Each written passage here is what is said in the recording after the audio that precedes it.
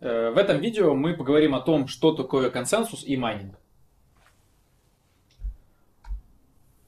Перед тем, как э, смотреть это видео, вы можете знакомиться с тем, как появился блокчейн и какую проблему он решает, из чего состоит биткоин и что такое транзакции и блоки в биткоине. Особенно рекомендую посмотреть часть номер 3, потому что там описываются внутренние э, механизмы того, как все это на самом деле организовано. Э, что такое транзакция, как они укладываются в блоки, что такое блок, почему вообще нужен этот блок. Итак, э, начнем с консенсуса. Э, термин можно слышать, когда говорят о блокчейне, много вот упоминается это слово. Первый раз я его услышал, когда пришел на метап, еще ничего не знал о блокчейне, и там говорят консенсус то, консенсус все. Такое вот ужасное было состояние, потому что вроде как все его используют, блин, а что это такое, непонятно. Ну, на, на уровне общего смысла понятно, что это такое, а что конкретно в непонятно. Сейчас разберем. Итак, э, консенсус – это принятые решения в децентрализованной сети, с которым согласны все честные узлы. Э, по аналогии, например, что можем сказать? Например, вот у нас есть семья. Допустим, наша семья – это децентрализованная сеть. Есть папа, мама и трое детей. И у нас демократия, предположим, демократия. Семья собралась и решает, куда поехать там в отпуск. Там, к, скажем, там, бабушке, в Египет или на речку там с палатками. И заранее Света договорилась, что если трое или больше проголосовали за какой-то вариант, то все остальные с этим соглашаются. То есть даже если они внутренне не согласны, хотят, например, на речку, а все проголосовали за там, к бабушке поехать, ну, тогда все равно. То есть они уже говорят, что хорошо, я принимаю это мнение, я с ним согласен буду. Такая же идея и здесь. То есть какое-то э, какое решение будет принято всей сетью, сеть будет с ним согласна. Консенсус протокол – это правило, по которым децентрализованная сеть приходит к консенсусу. То есть в случае с отпуском консенсус – это семья согласилась поехать к бабушке. Вот он, вот он наш консенсус, решение. А консенсус протокол это то, что если три или больше человек сказали, что едем туда-то, то все остальные согласны. Вот он наш протокол. Э, консенсус достигается при генерации блока. То, что мы рассматривали с вами в предыдущем видео, когда майнер подбирает случайное число, чтобы хэш блока был определенным, вот это и есть консенсус протокол, в котором написано, что хэш должен быть вот определенный, чтобы в нем было в начале определенное количество нулей. И если это количество нулей достигнуто, то вся сеть согласится, что блок правильный. Вот он наш консенсус. А, то есть, по сути, вот в криптовалюте консенсус предмет консенсуса, о чем договаривается сеть, это о том, какие транзакции считаются одобренными. То, что включено в блок, те транзакции, которые включены в блок, вот по ним и происходит консенсус. А, если не вводить специальный протокол, то каждый будет принимать решение, какое захочет. Например, семья не договорилась о том, что нужно три голоса и больше, чтобы поехать в отпуск. Соответственно, все собрались, и папа говорит, я хочу в Египет. Мама говорит, я хочу к бабушке. А дети говорят, а мы хотим на речку. Или в Египет. Или на речку. И, и меняют постоянно свое время. Ну, хаос на самом деле. В этом случае сработает единственная ситуация, если папа ударит кулаком по столу и скажет, так, все, едем, куда сказала мама. И поедут туда, куда сказала мама. Э, и это называется, соответственно, авторитарное принятие решений. В децентрализованной сети авторитарного принятия решений нету, происходит децентрализованное принятие решений. В биткоине нету папы, который ударит кулаком по столу и скажет, вот эту транзакцию считается одобренной. Ни одно правительство не имеет контроля над этой сетью. Никто не имеет контроля единоличного над этой сетью. Контролирует его сообщество. Вот. По вот этому определению вопрос есть? Супер. Есть разные способы нахождения консенсуса. Первый вариант, когда папа бьет кулаком по столу, или президент говорит, там, посадите такого-то, или э, там генерал говорит, идем туда, вот это называется proof of authority, когда есть авторитетное какое-то лицо, оно сказало, идем туда-то, если главный сказал, идем туда-то. Или если сидит совещание, 15 человек, спорят, спорят, спорят, в какой-то момент главный сказал, будет так-то.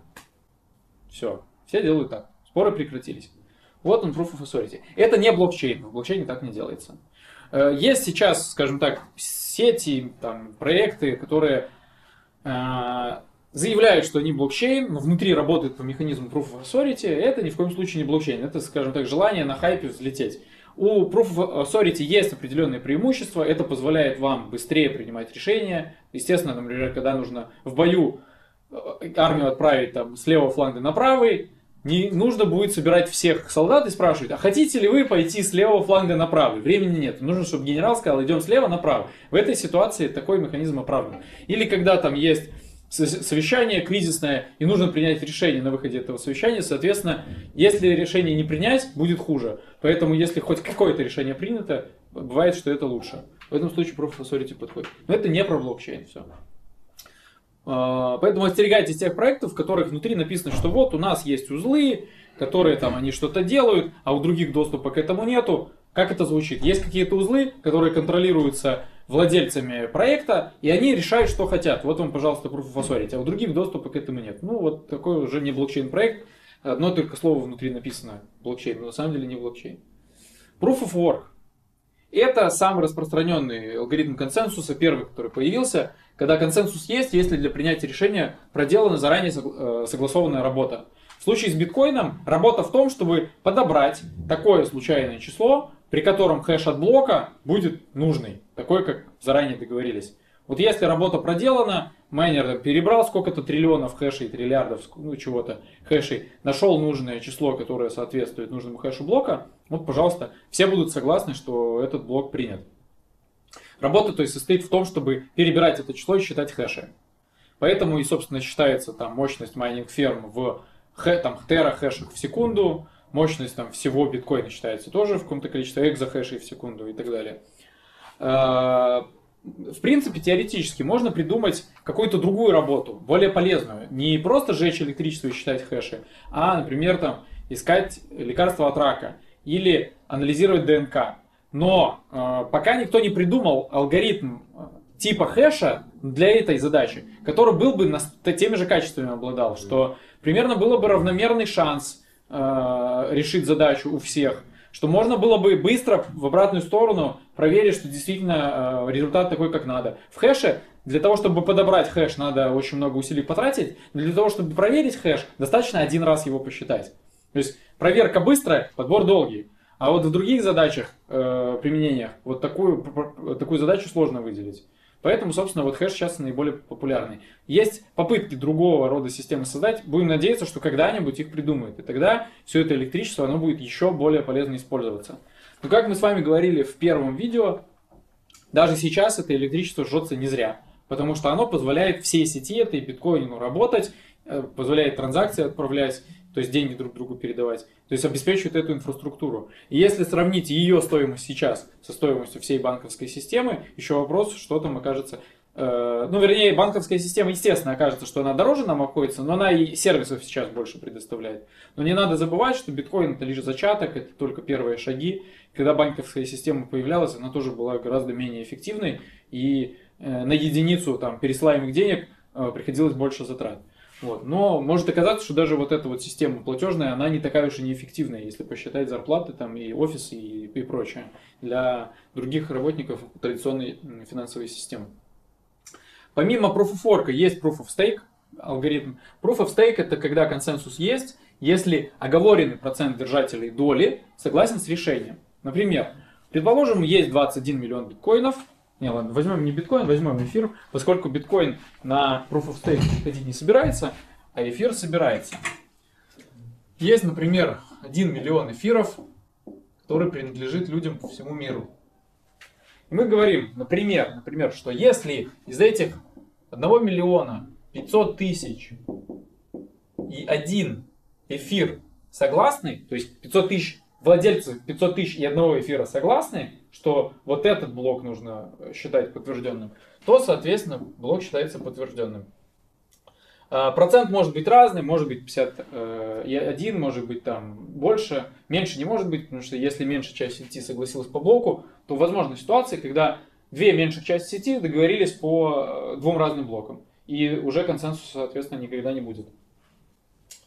А, поэтому какая-то часть сети согласна, и, соответственно, блок подтверждается. Вот этот алгоритм с точки зрения его программирования очень сложный. То есть Proof of Work гораздо проще, Proof of Stake сложнее. Плюс там вводятся вопросы, а как быть, если в данный момент участник сети не в сети? Но у него много эфиров. Соответственно, как ему поучаствовать в этом голосовании? И вот эти моменты, они постепенно прорабатываются. Существует Существуют уже системы, в которых есть гибридный алгоритм Proof of Stake и Proof of Work, то есть там Proof of Stake используется для части операций. Соответственно, в эфириуме в скором времени, мы надеемся, в этом году уже тоже Proof of Stake будет интегрирован. Он чем хорош? Тем, что там как раз не нужно тратить такое количество электроэнергии для того, чтобы блоки подтверждать. Можно подтверждать гораздо быстрее, меньшими трудозатратами и энергозатратами. Proof of Activity, то есть, как видите, тут такая же аббревиатура, как и Proof of Authority, но другая идея совершенно. Это э, смешанный алгоритм Proof of Work и Proof of Stake. Можете почитать про него более подробно в интернете. Proof of Burn. В этом случае майнеры тратят валюту на майнинг. Что-то вроде такой схемы. Я прихожу и говорю, я хочу подтверждать транзакции. Мне говорят, хочешь подтверждать транзакции, сделай, пожалуйста, депозит, положи его на этот кошелечек. И если ты и для того, чтобы майнить, от этого депозита твоего будет немножечко браться э, там денег. А, а если ты нарушишь правила сети, например, генерируешь блок не, ну, не по правилам, то твой депозит могут забрать как наказание. Соответственно, майнеры делают вклад, то есть платят за то, чтобы майнить, а награды получают э, комиссию, то есть то, что они берут с сгенерированных блоков. Комиссию и эмиссию новых сгенерированных, ну, например, биткоинов, в случае, если бы это работало в биткоине. Вот. Таким образом, получается механизм давления на майнеров. То есть они не просто пришли и хочет майнить, хочет нет, а он майнит, делает депозит, и, соответственно, имеется механизм его наказания за то, что он себя ведет плохо. Сразу вопрос. Да. А что значит смайненный блок не по правилам? Ну, например, я взял и модифицировал код клиента майнинга.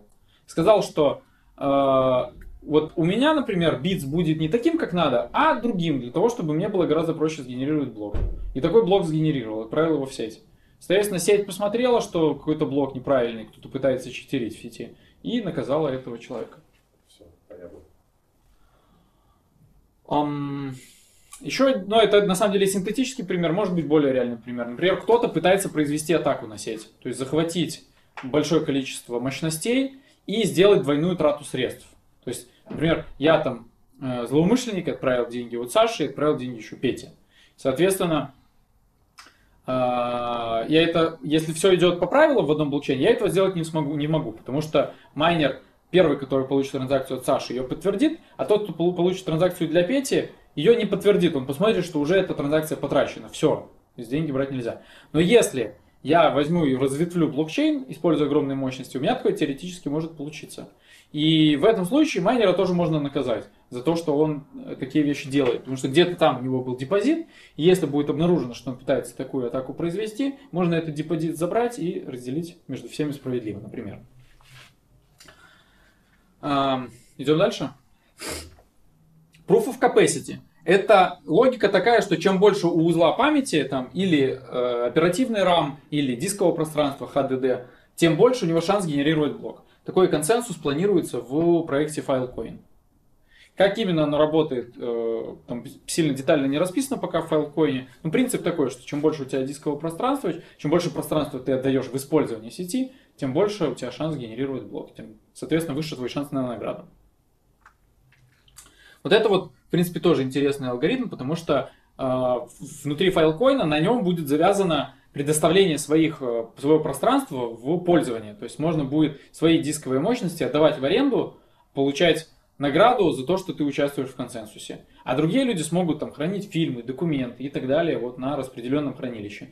И в теории, как оно сейчас звучит, что такие хранилища окажутся на порядок дешевле, чем сейчас там у Гугла или у Амазона. Вот. И более надежные, потому что они никем не контролируются. Но там есть свои сложности, можно прочитать про Filecoin и IPFS системы, если интересно. И есть еще алгоритм Proof of Elapsed Time, POET. У него э, консенсус происходит внутри специальных защищенных типов э, SGX или Software Guard Extension. Это чипы, вот их сейчас делает Intel. Смысл их в том, что код, который помещен в SGX, э, так хитро исполняется, что нарушить его работу невозможно. То есть хакер не может забраться внутрь, чипа. Он чип делает именно то, что было задумано. И таким образом можно сделать, что у всех майнеров будет стоять эти SGX. Майнеры не смогут щитерить и поменять их логику, а чипы SGX будут между собой договариваться по всему миру. Потенциально вот это тоже более быстрый вариант консенсуса. Mm-hmm. У него есть недостаток, конечно, большой, это то, что требуется специальное программное э, аппаратное обеспечение. То есть в случае с биткоином есть у тебя видеокарта или даже нет видеокарты, можешь присутствовать и майнить. Теоретически, конечно, это возможно, практически шансов смайнить блок будет очень мало, но здесь даже теоретически участвовать в сети ты не сможешь без этого расширения. Но на другой стороне лежит вот более высокая скорость работы в сети. По этому есть? Супер. Идем дальше. Теперь майнинг. Что такое майнинг? Майнинг это поиск консенсуса. То есть майнеры, опять же, говорят, что вот майнеры жгут электричество и так далее. Жгут они его не просто так, они его жгут потому, что нужно искать консенсус. Нужно, чтобы транзакции подтверждались. Вот они такую работу совершают. Выглядит примерно так, вот, как мы с вами говорили в предыдущем видео про транзакции и блоки. Nonce подбирается вот такой-то хэш, неправильный. Nonce подбирается такой-то хэш, неправильный. Nonce такой-то, хэш такой-то, правильный. То есть нужное количество нулей достигнуто. Пожалуйста, вам блок сгенерирован. Вот видеокарта все это время пыхтела, нам генерировала эти блоки. Видеокарты в майнинге используются не просто так, используются они потому, что внутри видеокарты э, ведется параллельная обработка данных. То есть видеокарты же изначально они задумывались для того, чтобы видео обрабатывать. А когда обрабатывается видео, там идея такая, что э, множество разных элементов, то есть там объектов внутри картинки, там цветов и так далее, они могут обрабатываться параллельно. И они запускаются внутрь видеокарты параллельными такими потоками, там тысячи, миллионы, миллион потоков. Что-то можно так себе представить упрощенно, что каждый пиксель обрабатывается в отдельном потоке на этой видеокарте, как будто отдельным маленьким процессором.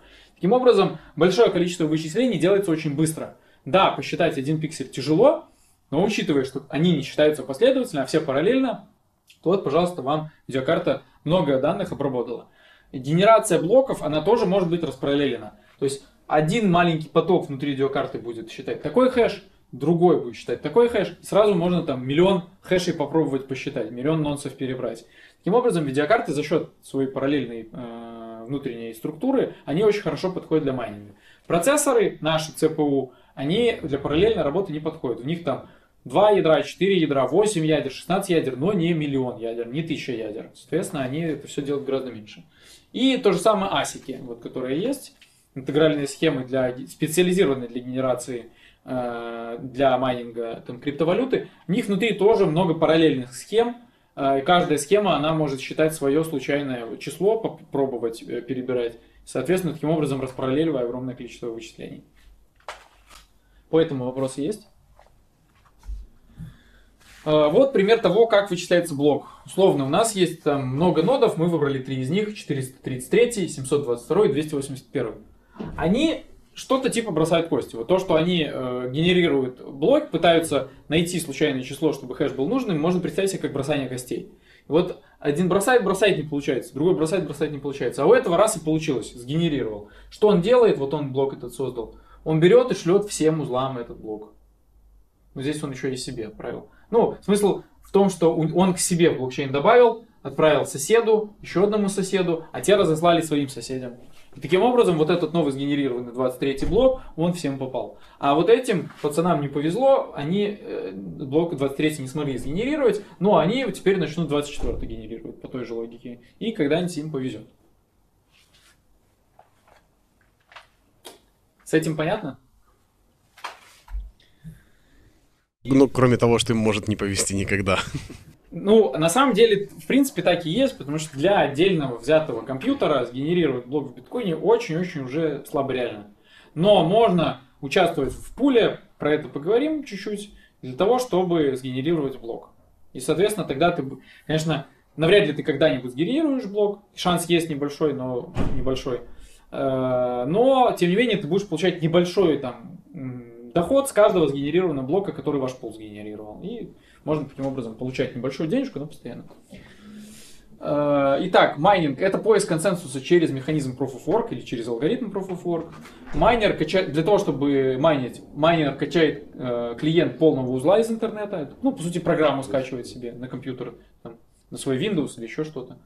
Э, клиент первым делом, когда его запускают, вот этот вот скачанный клиент полного узла, он качает чейн с других узлов, то есть соединяется с узлами биткоина и начинает себе выкачивать э, этот самый чейн, как в торрентах. Качает, качает, чейн уже достаточно большой, несколько сот гигабайт, то есть, соответственно, это займет какое-то время. Если у вас пропускной там канал э, плохой, то может быть и очень много займет. Если хороший, за пару дней, там, может даже пару часов, ну, смотря канал скачается. Логика майнинга зашита в код клиента. Вот что важно. Где же та самая вот идеи, где этот консенсус весь, то есть почему сеть работает. Работает она потому, что внутри кода вот этого клиента зашито, как именно сеть договаривается. Через сколько блоков надо обновлять битс, об этом в прошлом видео. Через э, что там у нас еще? Через какое количество блоков меняется размер награды майнеру и так далее. Все это зашито в коде клиента.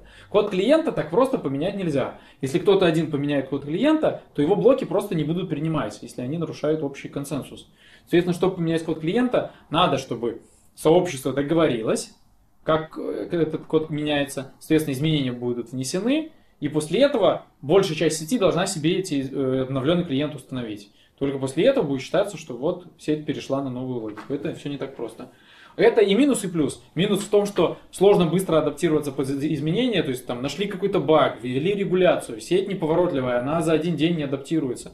Но, с другой стороны, поменять что-то быстро тоже не получится, если там взлом какой-то кто-то захотел сделать. За один день взять и взломать сеть, ну вот уже так нельзя взять и всем залить новое программное обеспечение. Ну, нету какой-то точки, в которой можно взять там, поставить новую версию, и все, и все майнеры автоматически обновятся, как в Windows. Ну, нету такого уже теперь. То есть, э, сеть получается очень э, такая инертная, то есть, она имеет, ну, имеет большую инерцию, ее остановить непросто.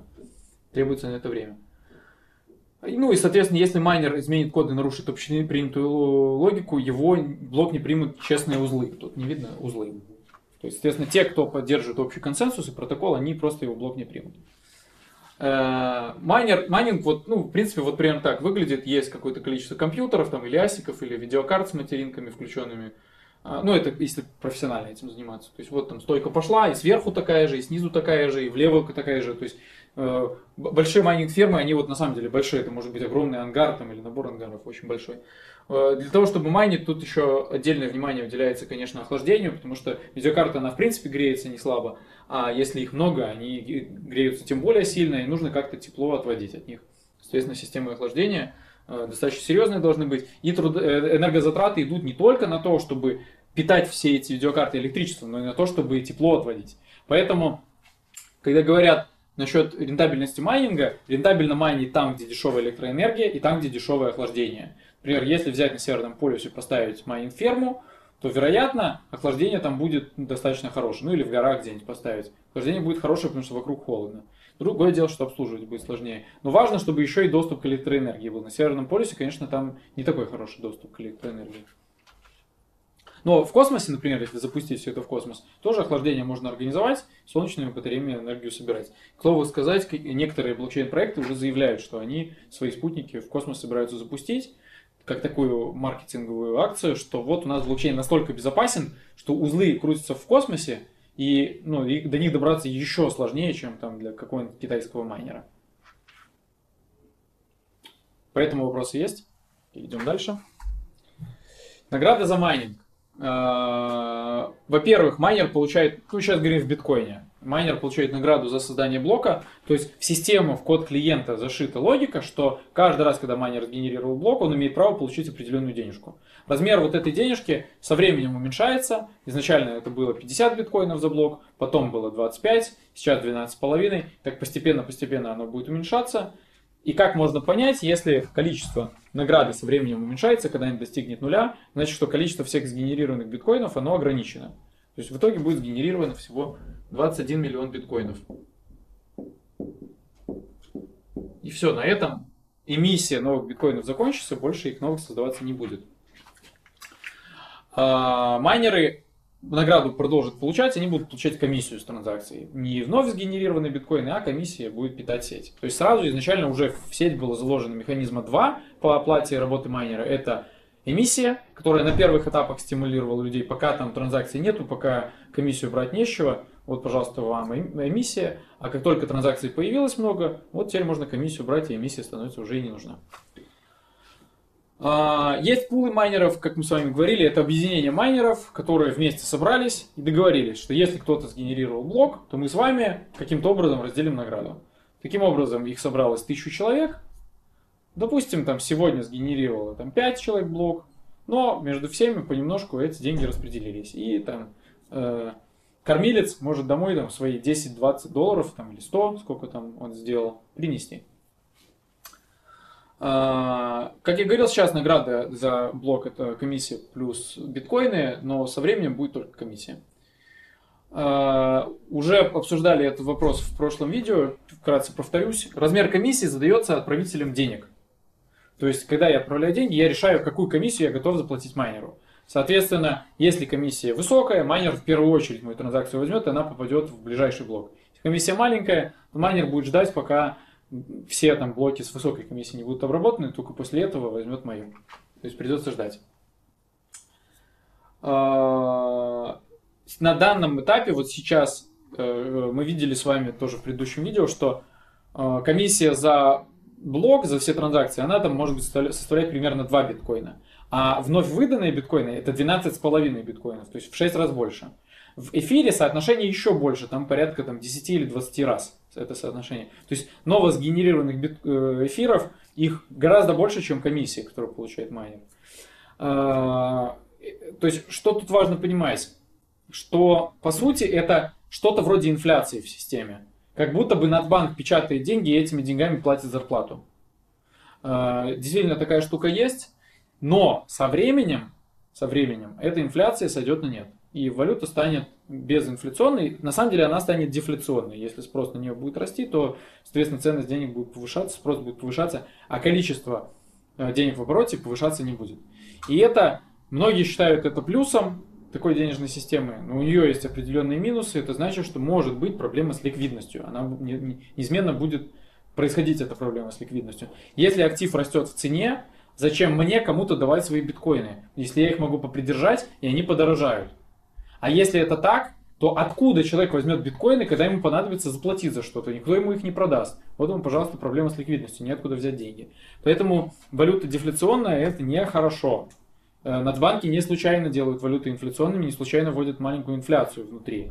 Ну, в, в грамотных странах, которые умеют, скажем так, э, с деньгами работать, в которых экономика налажена, там комиссия, э, инфляция, вернее, она небольшая, но есть. Как раз для того, чтобы деньги не застаивались, чтобы люди пускали их в оборот. Пусть человек положит деньги в банк под небольшой процент, но они будут в банке работать на него. Банк сможет с этими деньгами что-то сделать. Чем он положит себе в чулок и будет ждать, пока свои 10% в год он с этих денег поимеет. Соответственно, дефляционный актив, он не ликвидный. А, и это, на самом деле, ну, такая немаловажная проблема биткоина. А, многие говорят, что вот это классно, там, инфляции нет. Ну, если подумать, свои нюансы есть. По этому вопросу есть? Идем дальше. Как создается чейн? А, я, владелец кошелька, могу отправить там, кому-нибудь, например, Саше, транз... Э, деньги, биткоины. То есть я создам транзакцию, ну, вернее, мой, моя программа, мой, мой кошелек создаст транзакцию по моим указаниям, там я скажу, сколько денег, кому отправить. Она создаст транзакцию и отправит в сеть, то есть отправит к какому-то узлу. Этот узел разошлет транзакцию дальше. Это так называемый мемпул. Пул всех транзакций. Вот он формируется, когда в него новые транзакции поступают. Соответственно, транзакции распространяются между майнерами, а майнеры уже решают, какие транзакции брать и помещать в блок. А, как можно понять, из-за того, что я транзакцию отправил, потом узлы ее переслали и узлы еще раз переслали, а транзакцию отменить достаточно сложно. Потому что ее в таком, скажем, децентрализованном виде отправили в сеть, и каждый уже себе там что-то с ней начал делать. И связаться со всеми узлами и сказать, пожалуйста, отмените эту транзакцию, уже может и не получиться. Потому что к тому моменту, пока мое сообщение отменить транзакцию дойдет, кто-то может мою транзакцию в блок засунуть. То есть уже не так просто. Это как учитель в школе сказал, завтра все приходим с цветами, у нас будет открытый урок, например. А потом утром проснулся и, блин, день перепутал. Открытый урок в четверг, а сегодня среда. Звонит детям, а уже 8.05. Родители пошли в магазин за цветами. Дома никого нету. По мобильному телефону не отвечают. Телефон лежит в машине. Цветы уже купили. Там, да он сказал, все, цветы не надо. А цветы уже купили. Ну, слава богу, с цветами завтра можно, они еще не завянут. Вот. Но идея такая, что когда э, транзакция ушла в сеть, ее отменить уже э, сложно. И ну, многие кошельки уже такой возможности не предоставляют отменить что-то. А, что происходит, если на двух узлах будет создано два блока одновременно? Вот это вопрос очень важный и интересный. Это, по сути, тоже составляющая консенсуса. что сеть делает в случае, если два блока сгенерированы. Это такая же ситуация возможна. Что у нас было? Давайте нарисуем ситуацию. Была у нас ситуация, пусть чейн у нас растет вниз. Вот у нас был блок номер там 3. И вот мы пытаемся с вами сгенерировать блок номер 4. Пытаемся. Генерируем, генерируем, генерируем, майнер майнит, майнит, майнит. И тут у него получилось 4. Но в это время другой майнер то же самое пытался делать. И у него блок не точно такой же. Он туда включил транзакции, какие хотел. Кто-то захотел другие, включил другие. И тоже майнит блок номер 4. Для него это выглядит так, правильно? Каждый майнит свой. Так как всем детям дали домашку в школе, да? Э, и каждый делает свою домашку. Один делает одним образом, другой другим образом. И завтра все придут с домашкой. Так и здесь. Все делают свою домашку. И могут два человека примерно одновременно блок сгенерировать.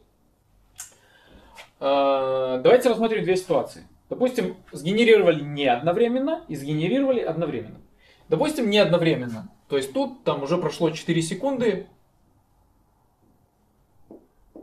э, когда вот этот майнер сгенерировал блок, майнер А. А майнер Б, получается, сгенерировал на 4 секунды раньше. Что произошло? Майнер Б сгенерировал и всем начал рассылать свой блок. И к тому моменту, пока майнер А свой блок сгенерировал, уже вся сеть или большая ее часть блок приняла. Соответственно, майнер А остался у разбитого корыта. Он только-только начал отправлять, и тут ему приходит новый блок. То есть, соответственно, э, уже там, допустим, 80% сети, даже нет, не так, неправильно нарисовал.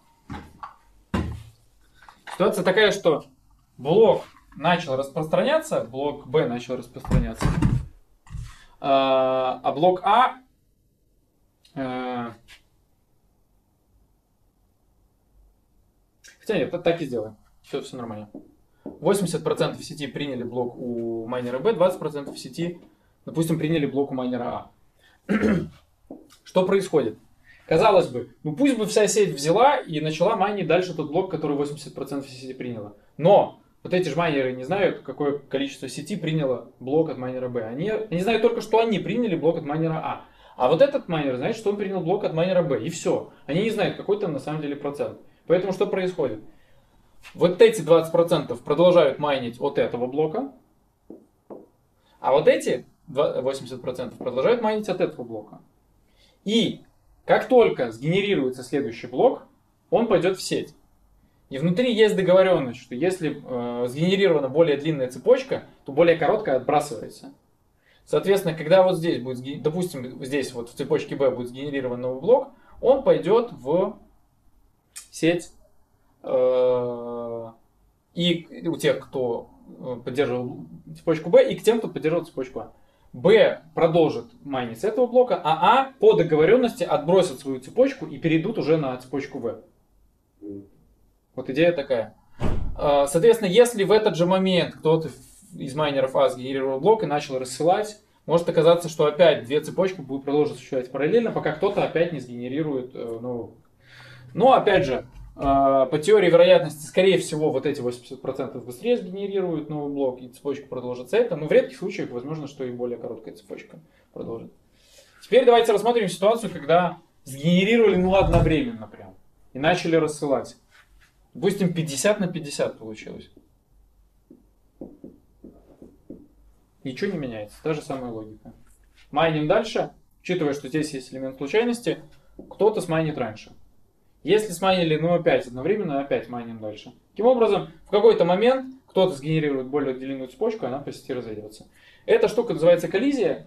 И, в принципе, коллизии иногда происходят в биткоине, но учитывая среднее время генерации блока 10 минут, коллизии происходят очень редко. Все очень редко майнеру приходится вот сгенерировать блок, и потом ах, остаться у разбитого корыта. Такое происходит, но редко.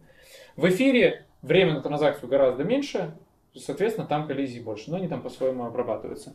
Но, тем не менее, даже там 15 секунд на блок в эфире, все еще сеть может существовать и с этим большим количеством коллизий справляться. Поэтому правило такое, что если создано два правильных блока, сеть, э, цепочка разветвляется на этот момент до тех пор, пока где-то не появится блок раньше, И вот, соответственно, сеть этот блок новый примет. В реальности одно так и происходит, что сгенерировалось два блока, потом кто-то раньше э, сгенерировал, и все, и тот один блок отбросился. Очень редко бывает, что еще, еще один блок потом сгенерировался. Тут сильно, на самом деле, должно повести. Ну, или не повести. Эм... Вот это правило, это тоже часть консенсуса. То есть, э, Proof of Work с точки зрения подбора хэшей плюс вот это вот правило обработки э, альтернативных цепочек. По этому вопросы есть? Отлично. Идем дальше. А дальше у нас будет следующее видео о том, в чем разница между блокчейн и биткоин.